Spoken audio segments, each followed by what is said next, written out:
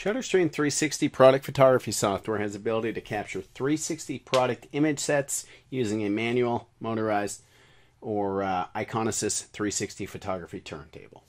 Uh, let's take a look at the kind of the, the setup and the workflow involved. Um, first and foremost, uh, you'll want to enable your live view inside of the software. As you can see, my hand going back and forth. That's a real-time preview of what the camera sees onto the monitor. Next thing we want to do is go into our control turntable, more specifically our uh, in the options area, this gear wheel right here, we're going to go select turntable. Now, if you did have an Iconasys uh, USB control turntable, um, you would want to connect that via USB and power on uh, the turntable, and you would see a different menu here. Um, right now, since we don't have our turntable connected via USB, I'm going to first discuss the manual mode then we'll discuss the continuous turntable mode. Then we'll get into the Iconasys turntable mode. So let's select manual and we will go to shoot 360s here. Uh, basically what this is going to allow us to do is define when working with a manual turntable, we're going to say, okay, I want to capture X number of images, maybe it's 24 frames, and I want to automatically capture these. Um, so we'll say it's use the auto mode, and then we want to just add a delay. Um, so me having to manually move my turntable, I'm going to say, all right, I want to wait eight seconds to capture an image. So I'm going to say shoot 24 frames, and it's going to take me about eight seconds to position the turntable to the next shooting angle. I will enter that value inside of there. Then I will hit start, and that will start the image capture process. So it's going to wait eight seconds and we'll go ahead and capture our first image. Now what I would do here is position my, and pardon me, I'm not working with a manual turntable here, I'm just trying to manually position my object. I position my object to the third angle here.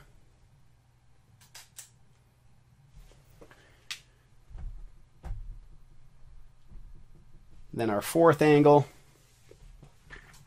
etc. So that's how the manual turntable option works. Basically, you're just going to enter the number of frames you want to shoot and the overall delay, how much time you're going to need, um, how much time you're going to need in between shots. So uh, that's how that works. Now, what we're going to do is exit out of the manual. So I'm going to go back to select turntable and I'm going to choose continuous turntable. This is a motorized turntable shooting mode. If you have a turntable that rotates at a consistent uh, spin rate, um, this will be the option that you'll use. Typically, we suggest working with a turntable with a RPM uh, slower than 2. That's about 120 seconds per 360 rotation. Uh, the slower the turntable, the better for various reasons.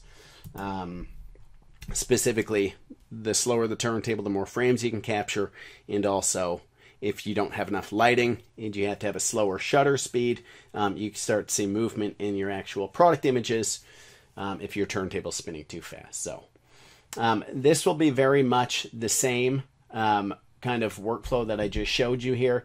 You'll select your number of frames that you wish to shoot. Um, we're going to do auto capture again. Manual capture would just require us to hit this snap button every time. Auto, it's going to pre-trigger every X number of seconds. And essentially what I would do here is say, Okay, I know for instance that I have a turntable that spins in 120 seconds per 360 rotation. Um, let's say I want 30 frames for the full 360 rotation. Uh, basically, 120 seconds divided by 30 frames would be one capture every four seconds. So I'll enter that inside of here.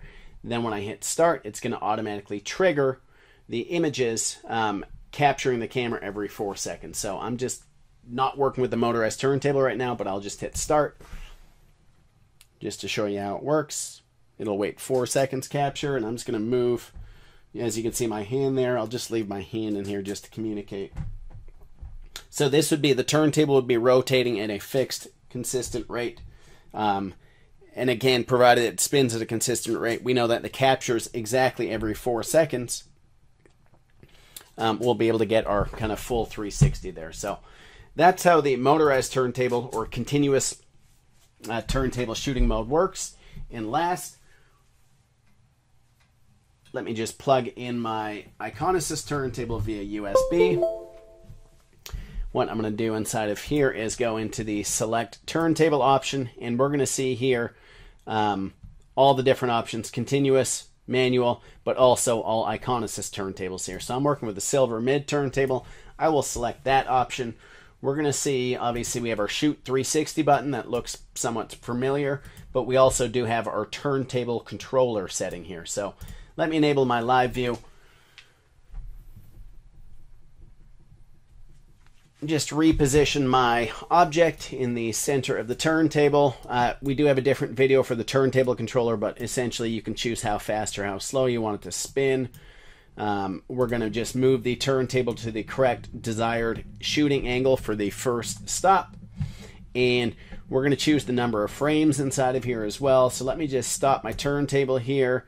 I might shoot at a rotation speed of 7. Anyways, users do have full control over that and we're going to choose you know x number of frames. Maybe it's 36 images or again you can go all the way up to um, well it's 360 here in the drop down but you can go up to this turntable is about 8400 so these would you can enter a custom value in there if you wanted. We'll just do 36 that's as you can see it populates the shooting angles. That would be every 10 degrees that we're capturing.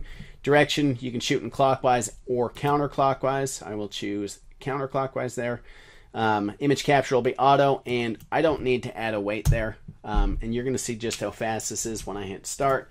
Um, let me just hit that. It's going to capture, turn, stop, snap, turn, stop, snap, turn, stop, snap. As you can see, and it's capturing one image every 10 degrees. When that process is done, then we're ready to go ahead and compose the images into a 360 view. That will be in a separate video highlighting the 360 creator function. Um, if you have any questions about any of these features or functionality, please don't hesitate to reach out. Thank you very much.